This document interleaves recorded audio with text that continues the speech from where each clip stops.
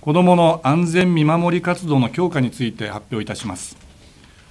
本年5月28日川崎市においてスクールバスを待っていた児童らが殺傷されるという痛ましい事件が発生をいたしました。今後同じような事件が二度と発生することのないよ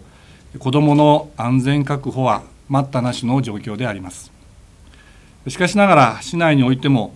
児童や女性を狙った声かけつきまとい痴漢などの不審者情報が絶えない状況であります。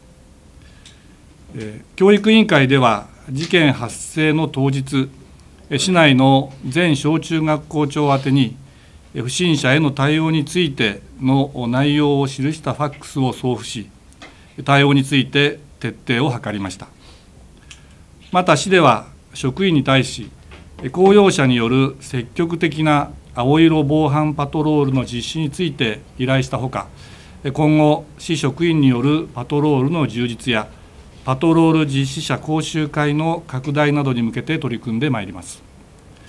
また各まちづくり協議会会長並びに各地区安全会議代表者の皆様に向けて昨日文書を発送し子どもたちが安全に過ごすことができる環境の確保のためパトロールを強化していただくようご協力をお願いいたしました。本市といたしましては引き続き各地区の皆様との共同を深め本市の未来を担う子どもが健やかにそして安心して日々を過ごすことができるよう安全見守り活動を強化してまいります。